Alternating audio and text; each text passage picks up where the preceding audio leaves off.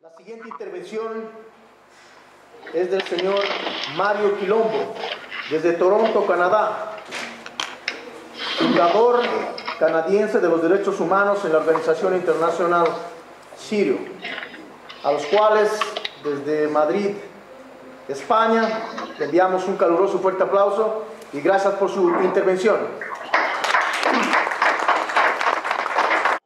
A todos los organizadores de la primera convención de ciudadanos del mundo, en mi condición de defensor de derechos humanos, quiero enviar un mensaje a todos los ciudadanos del mundo para que unamos esfuerzo para proteger los derechos fundamentales.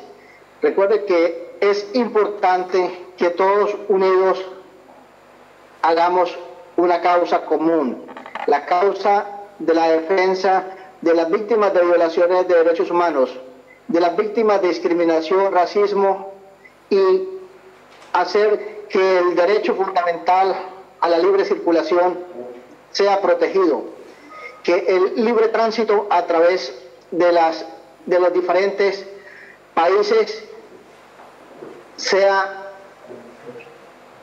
permitido, que a pesar de las barreras que se han suscitado a través de la creación de los estados, estas no vayan en contra de los derechos de todos los ciudadanos del mundo. Recuerde que a través de la historia los grupos nómadas no tenían barreras, se instalaban, se residenciaban donde mejor les convenía.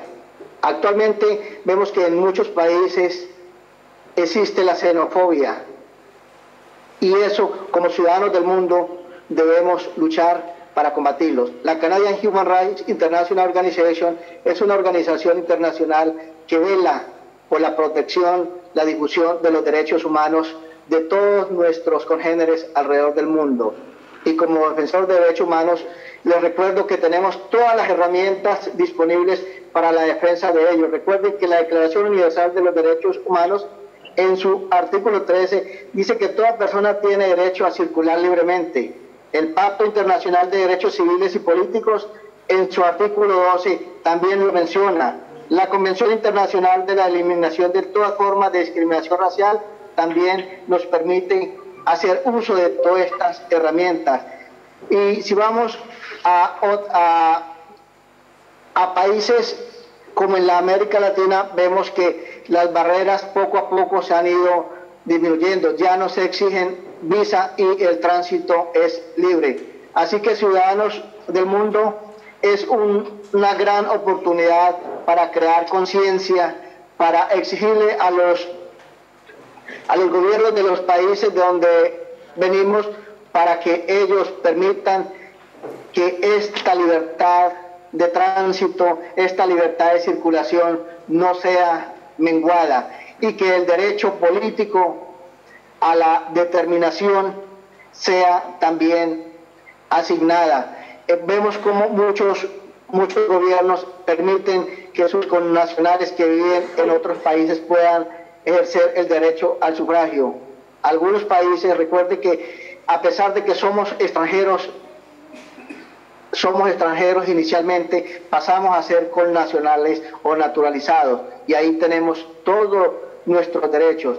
Solamente Existen restricciones en algunos países donde solo los extranjeros como residentes permanentes, clamantes de refugios o con otro estatus pueden participar en elecciones municipales. Pero como ciudadanos del mundo vamos a transformar. Recuerden que los inmigrantes a través de la historia de la humanidad han sido los que han cambiado la historia de los países donde, a donde llegan a residir, a donde deciden establecerse. Así que unidos vamos a cambiar muchas cosas como ciudadanos del mundo. Recuerden que somos ciudadanos globales y como ciudadanos globales tenemos en nuestras manos las herramientas que nos permiten exigir nuestros derechos. Muchas gracias.